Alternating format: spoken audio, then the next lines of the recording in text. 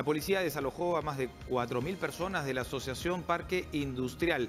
Desde el 2012, estas personas tomaron posesión del terreno que pertenece al gobierno regional.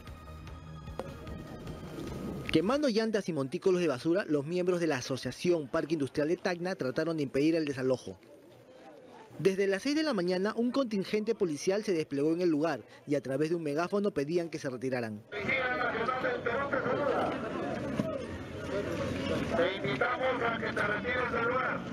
A pesar de la resistencia inicial, la policía recuperó el terreno de 35 hectáreas de propiedad del gobierno regional de Tacna. Mientras los ocupantes optaron por desalojar de forma pacífica y colocaron sus pertenencias en medio de la pista. Algunos miembros de la asociación están preocupados por la inversión que han realizado. Hace dos años yo he adquirido este terreno. Yo trabajo carpintería. Ocho años. ¿Con qué, con qué voy a, ahora, con qué voy a sustentar a mis hijos? Tengo dos hijos. Encima me endeudaba al banco. ¿Quién me va a dar para pagar al banco? Mientras otros consideran que la medida a favor del gobierno regional de Tacna es injusta. Yo estoy posicionado hace ocho años de este lote.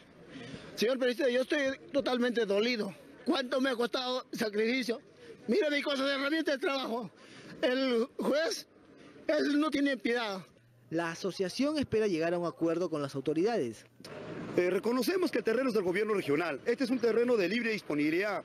El terreno está ya pues en el PDU considerado como talleres y parques industriales, zona industrial. Nosotros no estamos pidiendo que el terreno nos regale, nosotros le estamos pidiendo que el terreno nos venda.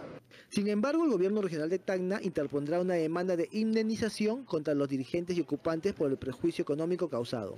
Desde 2012, los miembros de Apertac ocupan este terreno y han construido fábricas y viviendas, a pesar que la licencia de uso no permitía la instalación de material noble.